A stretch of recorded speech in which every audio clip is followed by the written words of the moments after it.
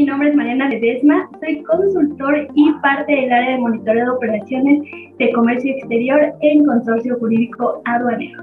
En esta ocasión les voy a platicar un poco sobre la entrada en vigor de la transmisión de la manifestación de valor a través de Google. El pasado 21 de abril de 2021 se publicó ya el manual de usuario para la transmisión de la manifestación de valor. Esta será a través de la ventanilla digital. Tomemos en cuenta eh, que, la, que entrada en vigor de la nueva disposición va a ser de acuerdo a nuestra regla general de comercio exterior 151. Esta nos va a indicar que quienes introduzcan mercancías al país deberán de transmitir a la autoridad aduanera, así como entregar el documento digital a su agente aduanal o agencia aduanal, la información y documentación de la manifestación de valor transmitida. Ahora que sabemos qué es lo que debemos de hacer, ¿quiénes no estarán sujetos a esta transmisión? Van a ser cinco y empezamos por quienes cuenten con un registro en el esquema de certificación de empresas, ya sea un operador económico autorizado, un socio comercial certificado o las empresas que cuenten con la autorización de depósito fiscal para un proceso de ensamble y fabricación de vehículos a empresas de la industria automotriz, ya sea terminal o manufacturera. Esto de vehículos de autotransporte.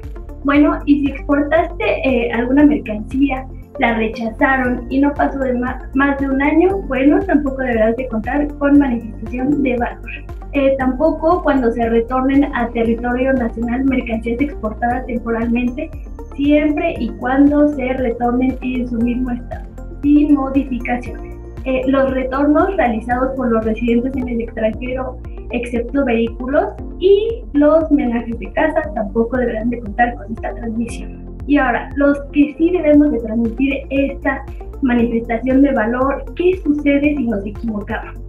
Eh, podremos retransmitir la información si la transmitimos incompleta o con datos inexactos, si omitimos algún dato o si nos olvidó adjuntar algún documento, eh, podremos generar un nuevo formato de manifestación de valor, pero aquí lo importante es que se debe de realizar y adjuntar el pago de la multa establecida.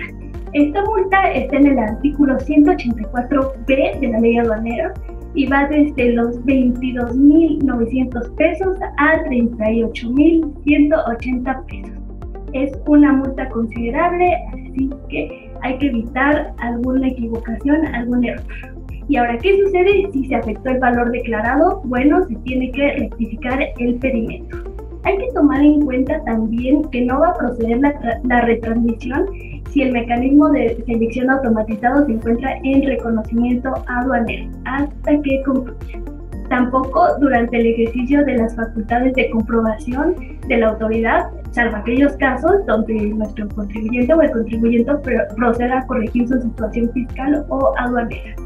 Y por último, es muy, muy importante señalar que la documentación que se transmita como anexo, así como la manifestación de valor y su acuse, se deben de conservar por el plazo que nos indica nuestro artículo 30 del Código Fiscal de la Federación. Este plazo es de 5 años. Bueno, pues espero que les haya gustado mucho esta cápsula. Si es así, no olvides dejarme su like y recuerda, si tienen alguna duda o quieren que los apoyemos con la revisión puntual de sus operaciones para evitar estas multas, aquí les vamos a dejar los datos de contacto para que nos lo hagan saber. Que tengan un excelente día.